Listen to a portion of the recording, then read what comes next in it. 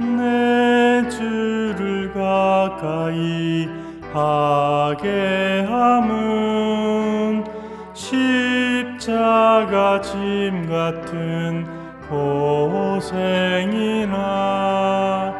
내 일생 소원은 늘 찬송하면서 주께 도 나가기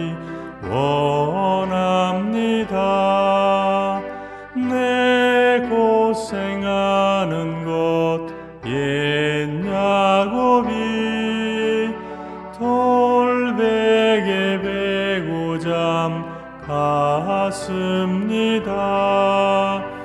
꿈에도 소원이 늘 찬송하면서 주께도 나가기 원합니다.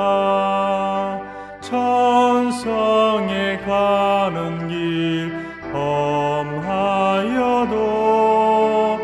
생명길 되나니 은혜로다. 천사 날 부르니 늘 찬송하면서 주께도 나가기 원합니다. 함께여 일어난 후 돌단을 쌓은 것